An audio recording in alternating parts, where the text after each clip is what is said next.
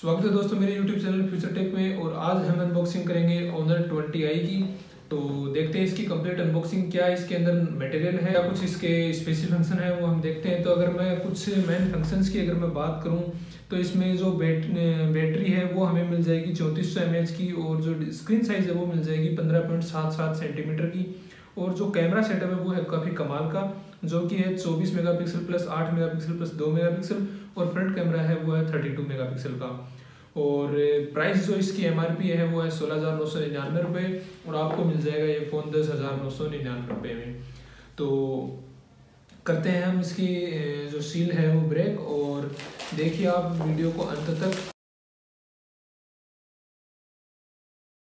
ये हो चुका है हमारा फ़ोन वो अनबॉक्स और अब सबसे पहले अगर हम बात करें तो हमें मिल जाता है ये एक हमारी मैन यूनिट जो कि है एकदम स्लिम और इस फैंटम ब्लू कलर में, जो कि है काफ़ी चमचमाता हुआ कलर और इसको भी हम रखते हैं एक बार यहाँ साइड में, बाकी मटेरियल देखते हैं।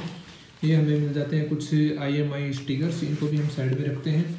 ये हमें एक सेक्शन मिलता है जिसके अंदर हमें मिल जाता है एक सॉफ्ट सिलिकन केस और ये है सॉफ्ट सिलिकन केस जो कि हो जाता है एक दो महीने के अंदर पीले कलर का, जो कि है किसी काम का नहीं, लेकिन ठीक है, एक बार फ़ोन की छोटी मोटी प्रोटेक्शन के लिए एकदम सही है। और अगर ये ब्लैक कलर में हो तो काफ़ी शानदार हो। इसके अलावा हमें इसी के अंदर मिल जाती है एक सिम इजेक्टर टूल जो कि है एक बहुत ही काम की चीज़। तो ये है कुछ इस टाइप की सिम इजेक्टर टूल इसको भी हम एक बार यहाँ रखते हैं साइड में जो कि हम से, हमारे चेक करने के काम आएगा कि हाइब्रिड स्लोट है कौन सा स्लोट है।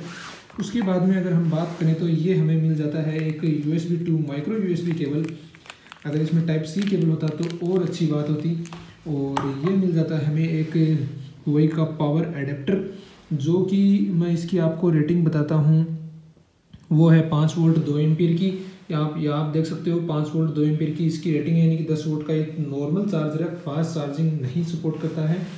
और यही था इस फ़ोन का पूरा, जो भी था हिसाब किताब। अब हम सबसे पहले उतारते हैं इसका ये आईएमआई नंबर वाला स्टिकर फ़ोन की अगर डिस्प्ले की बात करें तो ये एक full H D plus display है, जो कि पंद्रह पॉइंट सात सात सेंटीमीटर की है। सेंटर में यहाँ हमें ये एक थर्टी टू मेगा पिक्सल का सेल्फी कैमरा देखने को मिल जाएगा।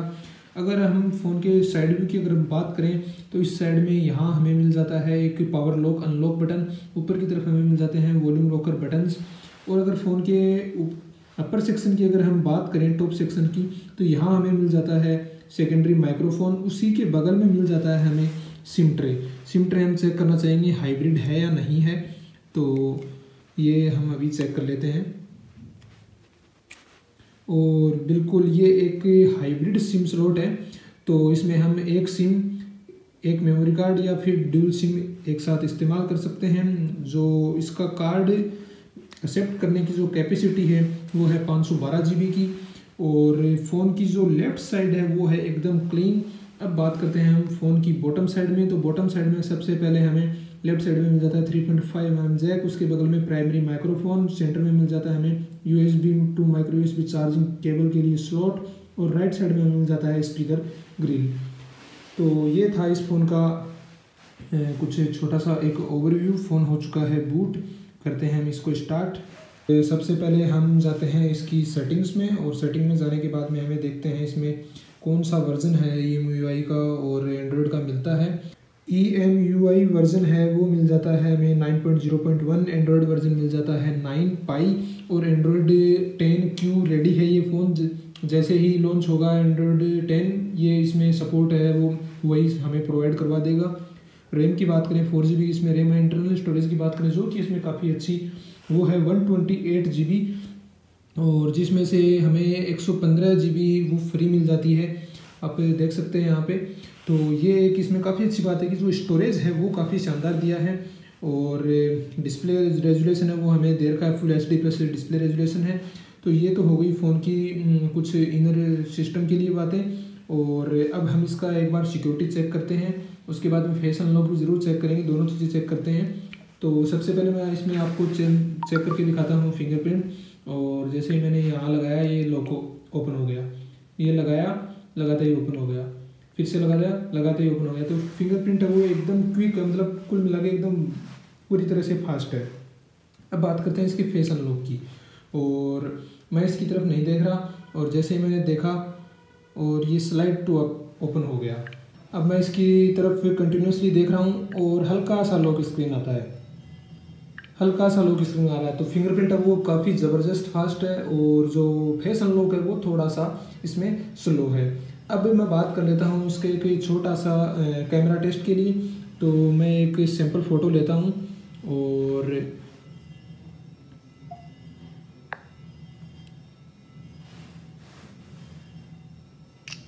ये मैंने एक सिंपल फ़ोटो ली है और मैं आपको इसमें डिटेल्स कराऊँगा। कि कितने अच्छे से हमें ये डिटेल्स हैं वो देखने को मिलेंगी। और इसमें एक एक नाम है, वो दिखाई दे रहा है। तो डिटेल्स हैं वो काफ़ी अच्छी हैं। अब मैं एक बार इसका सेल्फ़ी कैमरा ज़रूर चेक करना चाहूँगा। और सेल्फ़ी के लिए मैं आपको डिटेल्स दिखाता हूँ। तो डिटेल्स कुल मिला के अच्छी हैं। 32 मेगापिक्सल जितना मुझे लगा नहीं, लेकिन डिटेल्स हैं कुल मिला के ठीक हैं। कैमरा बेकार नहीं कहा जा सकता, काफ़ी शानदार कैमरा है। तो कैमरा सेटअप है ये, मुझे इसका काफ़ी अच्छा लगा। वही कि कैमरा ऐप के अंदर हमें बहुत सारे फ़ंक्शन मिल जाते हैं। अगर हम मोर में जाएँगे तो हमें panorama pro mode time lapse सारे मिलते हैं स्टिकर वगैरह सब कुछ। कैमरा ऐप है, वो काफ़ी शानदार होता है, वही का हमेशा से। दोस्तों, ये मैं शूट कर रहा हूँ ओनर ट्वेंटी आई से, और जो क्वालिटी है, वो है काफ़ी शानदार। और कैमरा का जो इसमें रेशियो रहता है रिकॉर्डिंग का, वो भी काफ़ी शानदार है। वीडियो रिकॉर्डिंग है, उसका जो ऑप्शन है, वो हमें मिल जाता है 18.7 point seven into nine ratio में भी हम रिकॉर्ड कर सकते हैं और फुल एच मोड में भी रिकॉर्ड कर सकते हैं, जो कि एक काफ़ी अच्छी बात है इसके अंदर। और सर्दी हो रही है काफ़ी ज़्यादा, यहाँ टेम्परेचर है पाँच डिग्री। और क्वालिटी मैं आपको दिखाने की कोशिश करता हूँ, काफ़ी अच्छी क्वालिटी दिखाई दे रही है मुझे। सबसे अच्छी बात है, इसकी डिस्प्ले जो कि है 6.2 इंच की एकदम कॉम्पैक्ट डिस्प्ले और एकदम छोटा सा फ़ोन लगता है, काफ़ी अच्छा फ़ोन लगता है और काफ़ी अच्छी हैंडलिंग है और पतंग उड़ रहे हैं यहाँ पे।